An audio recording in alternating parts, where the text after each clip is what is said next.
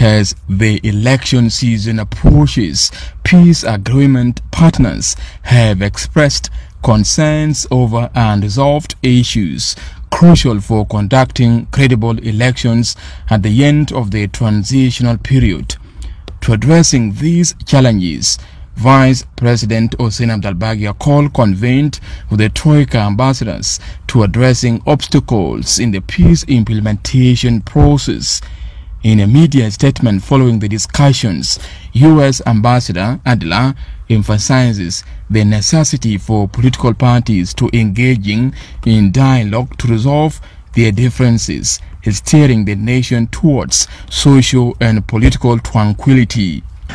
We reaffirmed that our priority in South Sudan is peace and that peace can be best secured through genuine and peaceful elections. The South Sudanese people desire and should have.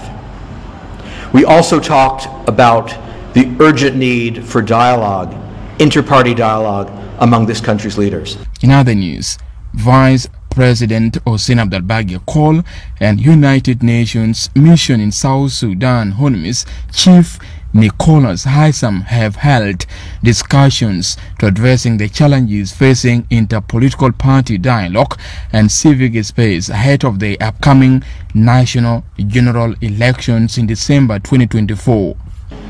At this stage of the political process, uh, including the economic uh, and financial challenges. South Sudan really needs the political stakeholders, the political parties, to come together to agree on a way forward.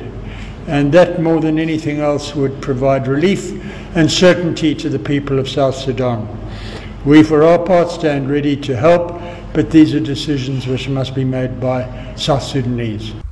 Echoing these sentiments, Ayaga Garang executive director in the office of the vice president underscored the vice president's unwavering commitment to addressing the outstanding issues in the peace accord.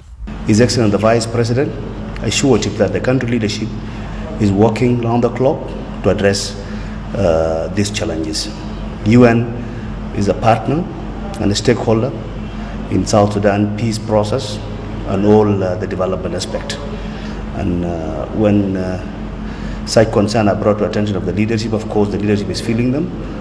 And uh, there are daily efforts being exerted to ensure that these challenges are overcome and the country put on the right trajectory.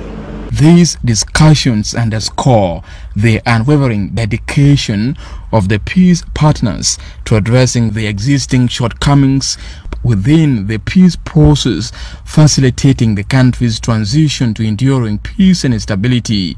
Reporting for SSBC News, Mathiang Joseph, Juba.